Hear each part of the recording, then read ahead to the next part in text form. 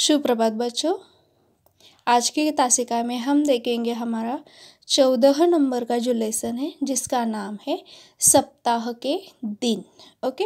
तो सभी बच्चे क्या करेंगे अपनी अपनी जो किताबें हैं, वो निकाल कर खुद के सामने रखिए और इस लेसन के, इस लेसन की ओर ध्यान दीजिए, ठीक है?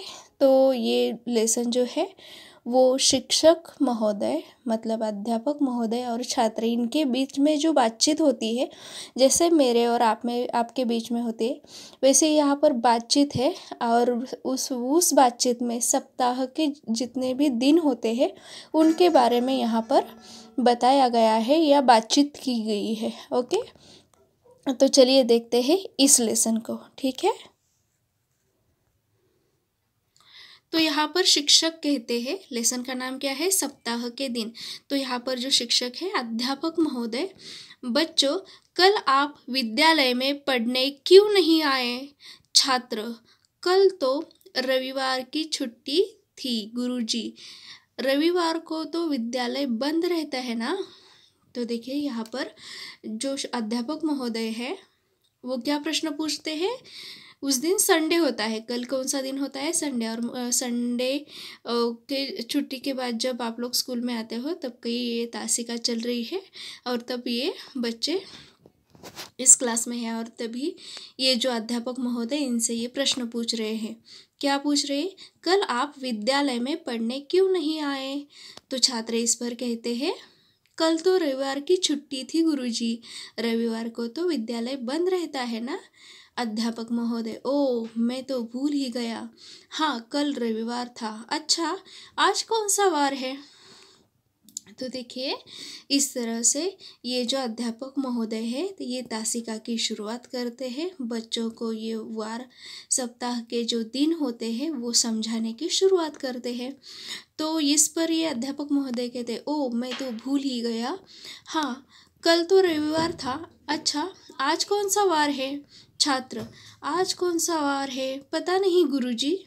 उसके बाद देखिए, छात्रों को ये पता नहीं होता कि वो रविवार की छुट्टी के बाद कौन से दिन स्कूल में आए। जैसे आप लोगों को पता होता है, संडे के दिन तो छुट्टी होती है और मंडे के दिन आप क्या करते हैं? स्कूल में आते हैं। तो इन छात्रों को ये पता नहीं है। ओके? और उस पर अध्यापक महोदय इनको ये समझा रहे हैं। ओके? अध्यापक महोदय अच्छा मैं एक शब्द कहता हूँ, फिर आप उससे अनुमान लगाना।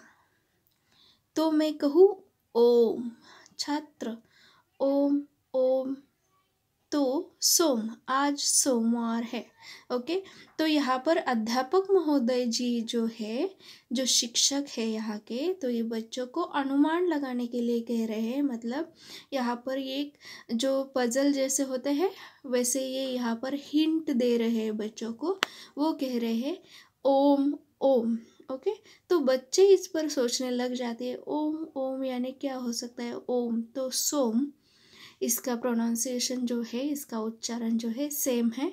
तो बच्चों को ये समझ में आ जाता है कि आज सोमवार है, ओके? उसके बाद अध्यापक महोदय क्या कहते हैं देखते हैं। अध्यापक महोदय, शाबाश, आपने सही अनुमान लगाया। अच्छा अब सोमवार के बाद कौन सा वार आएगा?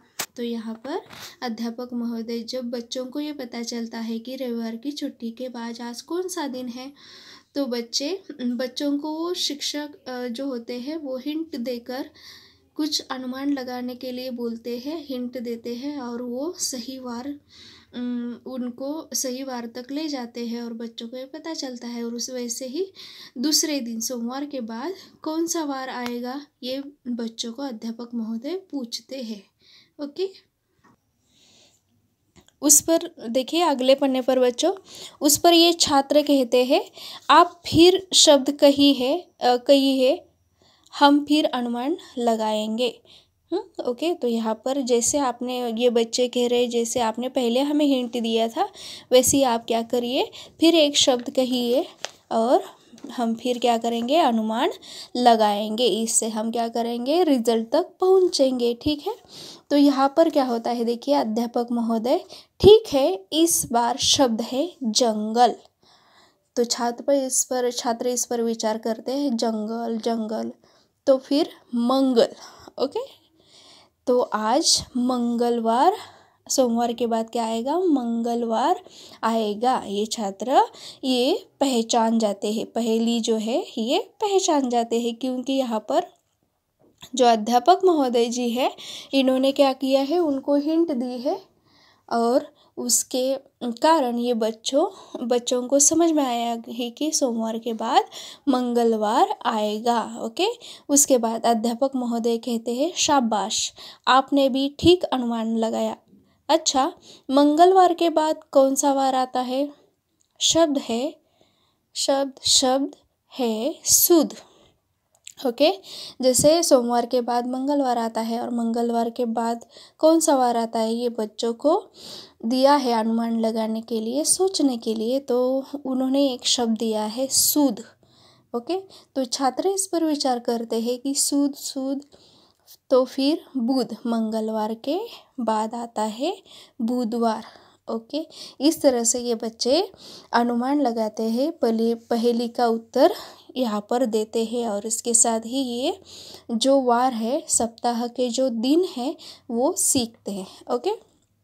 उसके बाद देखिए, शाबाश, आपका ये अनुमान भी सही है। अच्छा बुधवार के बाद कौन सा वार आता है? शब्द है कुरु। शब्द क्या दिया गया है उन्हें? कुरु। तो बच्चे इस पर विचार करते हैं। कुरु कुरु तो गुरु।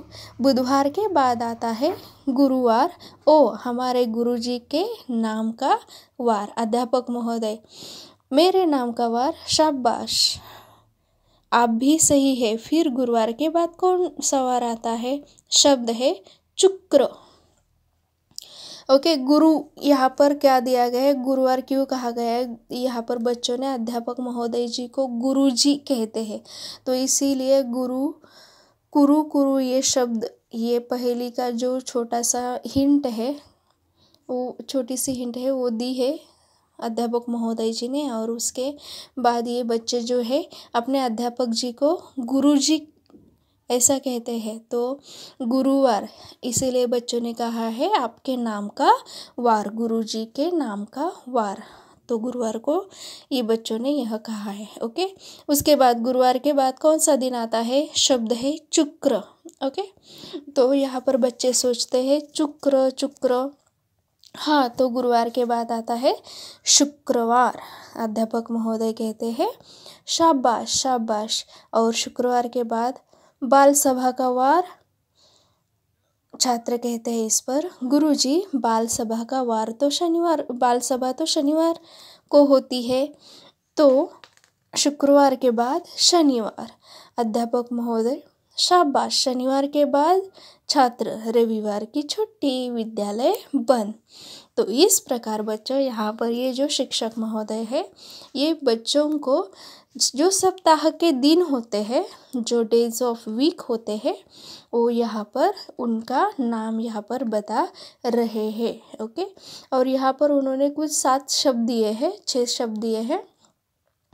और उसके उन उन शब्दों के ऊपर से उन्होंने क्या किया है? बच्चों को हिंट दी है शब्दों के रूप में और बच्चों को ये पहचानने के लिए कहा है। तो आपको ये ज़्यादातर बताने की ज़रूरत नहीं है। आपको पता है, संडे के बाद मंडे उसके बाद ट्यूसडे वेनसडे थर्सडे ये तो आपको इंग्लिश में पता है और आपको रोज़ यहाँ पर असेंबली में बताया ही जाता है। इसीलिए आपको ये समझने में और ये डेज़ ऑफ़ वीक समझ में, समझने में कोई दिक्कत भी नहीं आएगी।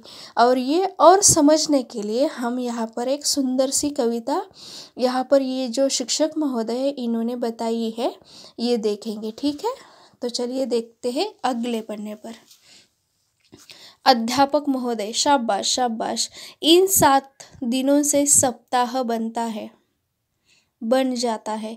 अब मैं आपको इन वारों के नाम की एक कविता सुनाता हूँ, ओके? तो यहाँ पर डेज़ ऑफ़ वीक जो है हिंदी के डेज़ ऑफ़ वीक है मतलब सप्ताह के जो दिन है, यहाँ के इस, इनके बारे में एक कविता इन जो, ये जो अध्यापक जी है, इन्होंने बताई गई है। ये सुना रहे, ये कविता कौन सी है?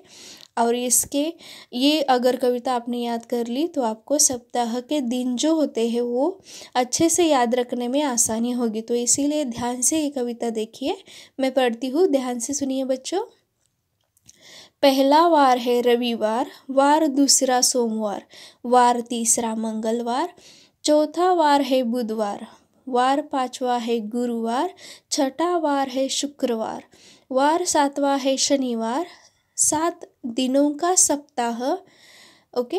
तो इस तरह से ये जो कविता है, मैंने अभी पढ़ी, फिर से एक बार पढ़ती हूँ, ध्यान से सुनिए। वार पहला वार है रविवार, वार दूसरा सोमवार, वार तीसरा मंगलवार, वार चौथा है बुधवार।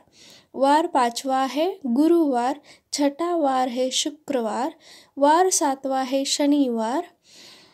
सात दिनों का है सप्ताह, ओके? तो यहाँ पर ये जो छात्र वहाँ पर सीख रहे होते हैं, उनको ये कविता जो होती है, बहुत अच्छी लगती है और उस पर उनका रिएक्शन होता है, सुंदर कविता, वाह वाह।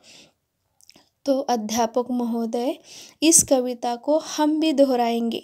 ऐसा ये बच्चे इन जो ये जो टीचर है, इनको बताते हैं और जो ये टीचर है, इनके पीछे ये जो बच्चे हैं, वो कविता फिर से दोहराते हैं, ओके?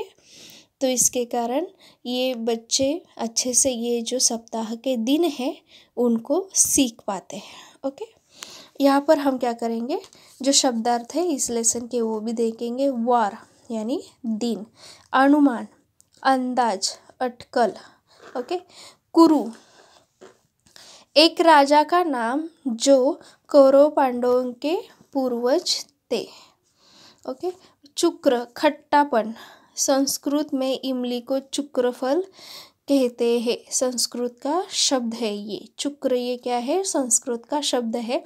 और जो संस्कृत भाषा है, उसमें इमली को चुक्रफल कहते हैं। उसके बाद सुध, सुधी, खबर, याद, सप्ताह, सात दिन। ओके, इस तरह से बच्चों, ये जो हमारा लेसन है, वो अभी ख़त्म हो जाता है। फिर से एक बार हम क्या करेंगे, इस लेसन में जो दी गई कविता है, फिर से एक बार दोहराएँगे, ठीक है? वार पहला है रविवार, वार दूसरा सोमवार, वार तीसरा मंगलवार, वार चौथा वार है बुधवार, वार पांचवा है गुरुवार, छठा वार है शुक्रवार, वार सातवा है शनिवार, सात दिनों का है सप्ताह, ओके? तो इसके साथ ही हमारा जो, ये जो लेसन है, वो ख़त्म हो जाता है, ओके? धन्यवाद।